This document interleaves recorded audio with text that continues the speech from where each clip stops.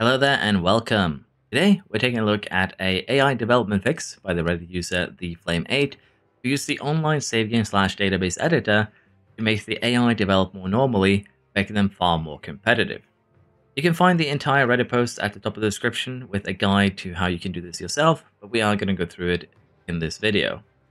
The way this works is through a save game slash database editor, meaning we are modifying the save file itself and not the base game. As such, if you want to apply this fix to more than one save, you're going to have to do it to each of them manually. Now the question probably is, does this actually work? Does it make the AI better? Yeah, in short terms, the edit proposed by the Flame 8 is really good at making the AI develop more, and it also nerfs the player a bit due to the changes to how CFD and Wind works, due to how the AI currently handles it. Basically, if you apply the changes to CFD and Wind, you are brought down to the AI's level, and you no longer will have huge jumps ahead of the AI CFD and Wind tunnel usage. So it will be up to you if you want to use it or not, but it does bring you down to AI's level. As such, until Frontier comes up with the next update, might be today, might be tomorrow, might be Monday, I'd say this is a good temporary solution to make the game a bit more competitive. To make this work, we first need to find our save file. This is usually uh, in local users, then your username, app data, local f1-24, saved save games. If you are struggling to find this, you can probably find a guide in anywhere to get into the app data. Basically, just like you make your way to app data, local F1 manager, you should have no problem finding your save files. Since this tool that we're using is actually a browser, there is no need to download any programs. We just upload our save to the tool and download the save once we're done. The tool in question is uh, save.f1setup.it. I recommend making a backup before you start editing to be on the safe side, and once we have uploaded the save game, we want to head to the modding tab, find browse a table, then go to sub-team ownership table. What we want to do here is edit the number of engineers available for our team, or rather for every team, as the AI currently uses 5 engineers for every project. As such, changing the numbers of engineers from 10 to 20 will ensure that the AI always has the capacity to run 4 projects simultaneously. After we've done this, we want to fix the issue with CFD slash wind. And there is no easy fix for this other than limiting ourselves to what the AI would use, five wind tunnel and one CFD. In regulations, non-technical part resources, that is the table, we can find the wind and CFD allocation, and this will need to be manually changed again if there is a regulation change. And again, each regulation change has their own table, so part resources 2 or 3, depending on your change.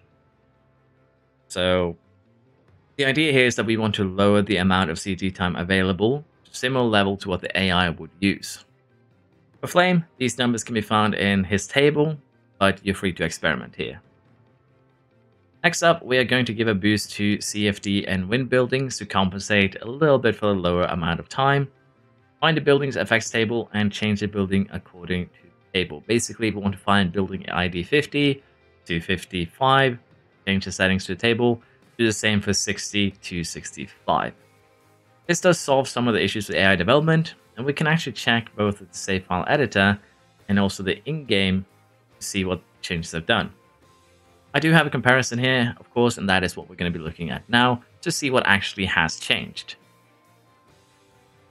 Now to compare, we're going to go back to an older Sauber save, the one where we almost got Barras, uh, well, got Barras a little bit close at least second place. Now this is an unedited save that we're going to be using to compare with Flames. And in this one, as mentioned, we did get fairly close. We had a car that was very competitive in terms of top speed, as well as its cornering ability.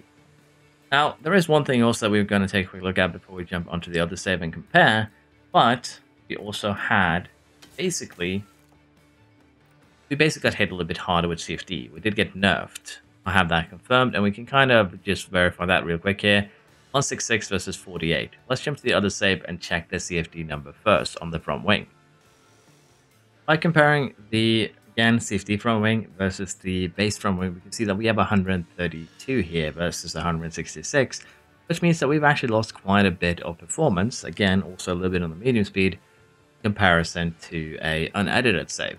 So the edited save has already kind of done its job with uh, the CFD here, You can kind of see. So you are going to have less gains from CFD time, But also, if we take a look here, go home and take a look at the performance, we have not scored nearly as many points as we did in the unedited save. McLaren even managed to topple Red Bull somehow, even with us stealing Piastri at one. So, as you can imagine here, this is probably a little bit more of a somewhat balanced uh, playground. And also, if we take a look at the current car, we are still quite high up there in terms of our performance. We aren't, you know, super competitive, particularly if you were to compare us against uh, some of the other teams. We haven't become first, we're sixth, seventh, second, seventh. So, again, the other teams are developing and being far more competitive than they were in the scenario. Now, we're actually going to jump into the editor and take a look at the numbers a little bit more closely. Here we can take a look at the gains and losses team. So, you can see that we have the CFD gains here. Again, this is the edited version. You can see that the AI has done some chassis work. They've done some front wing work, rear wing, side pods, underfloor suspension. That it is fairly, you know, balanced. Basically, the AI is developing everything, and it's actually doing it at a pace that is higher than us in most cases. And again, this is due to mostly us nerfing our CFD to a lower level and also doing a little bit of research. But you kind of get the idea here. The AI is able to develop non-stop, which makes them into more of a formidable, you know, challenge. We can also, if we really want to, go into all parts here and see exactly what they've done. So you can see already, Mercedes has made eight uh, chassis. We have five front wings for McLaren. We have seven Merc rear wings. We have 10 side pods from Haas. We have seven underfloors. We have eight suspensions. So the AI is developing everything. The only negative part about this, though, is that the AI might be spending a little bit too much in developing. But honestly, uh, it shouldn't be too much of a concern. Research is still a little bit wonky. The AI is still bad at that. But at least now they are developing in a good way during the course of this season. Now, if we compare this to an unedited save, let's just see exactly what the AI did there compared to here. Here we have the unedited save, and if we take a look at the numbers here, we are the only ones that did any work on the chassis, the front wing, the rear wing, and also the side pods, which kind of matches up with how the AI is currently developing. They do they do a lot of work on the underfloor. They did do a lot of work on the suspension because the CFD uh, basically are huge CFD buff, and the fact that they barely use it. Still outdeveloped most teams in both of these things, even though this is the only thing they focused on the course of the season.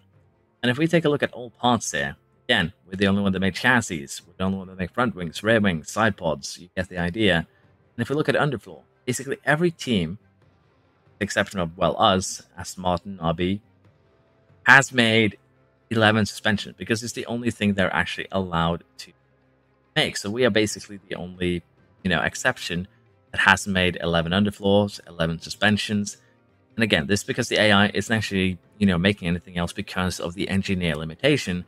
Putting the engineers up to 20 alone is going to solve some of the, you know, AI development issues. And if you feel like that is enough, that you just want them to develop everything, just doing that very simple fix, going into modding, finding the uh, table here. Yeah, once again. Sub team ownership Again, buffing these numbers to 20 will be enough to solve most of the issues with development. It'll make sure the AI is always developing. Of course, they're not going to use internal efficiently. They're not going to be using, uh, you know, sliders, but it will make sure that they are running projects as many as they can over the course of the season. And this is a very, very simple fix. You just go to sub-team ownership, as I said, turn every, you know, sub-team type 0 to 20. This basically signifies engineers. This signifies scouts. So turn this to 20. And if you need to, you might need to go to the second page, find your own team. But as can imagine, it's a very simple fix for getting the problem solved. And I'm kind of surprised that Frontier didn't just do this temporarily. Just say that, oh, they're using they're using too many engineers. An easy fix for this is that every team has 20 engineers now, just temporarily until we can fix the bug. Because that again solves a lot of the issues. You can also, as I mentioned, go deeper in and do the CFD wind tunnel edit, gonna basically nerf you the player a ton. Not really have much effect on the AI because they've basically been using this sort of wind tunnel the entire time. But it is gonna make the AI more competitive. It's gonna make the game harder and potentially make the game more fun. Once you're done, you just click this export save file button up on top right corner. That way you'll download the save file. You put it back in the save folder or overwrite the current file there, and then you are sorted. So yeah, that was basically it for the save game browser here. Pretty brilliant fix, honestly, behind the Flame 8. Great work.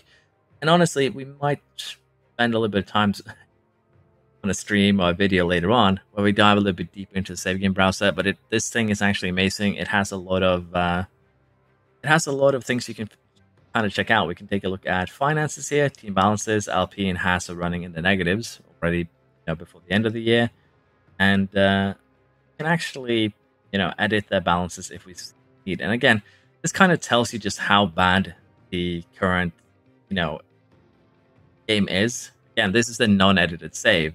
But you can see here that Red Bull has 80 million, Ferrari has 70 million, and that's mainly just because they don't have anything to spend it on. So that does have an effect. You can also, if you want to make, say, Haas or in this case Alpine more competitive next year, go into your save game in December, give them a little bit of a you know financial help package. You can actually edit their finances. So if you feel Haas is being stupid with drivers, go in here, edit the financials, and Haas might hire someone who's better than just 60 overall rated. So you do have some options here to help teams that are falling behind but it's uh, it's kind of a you know, it's kind of a hard thing to do.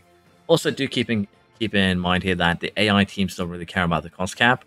So once you actually give them full no limitations to you know four slots 24 7 running as long as they have the finances ai teams might break the cost cap by a good 50 million so if you feel like they're developing too much you can always go down to put them to 15 engineers say halfway through a season or something like that check where they're at in cost cap if you want them to play by those rules.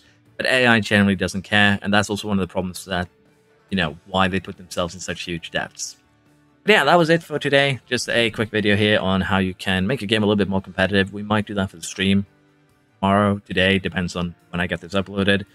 Um, but yeah, thank you very much for watching. Hope you've enjoyed. Please like, subscribe, and go to Reddit and uh, give uh, the Flame 8 a huge thumbs up figuring this out. Thank you very much. See you next time. Bye bye.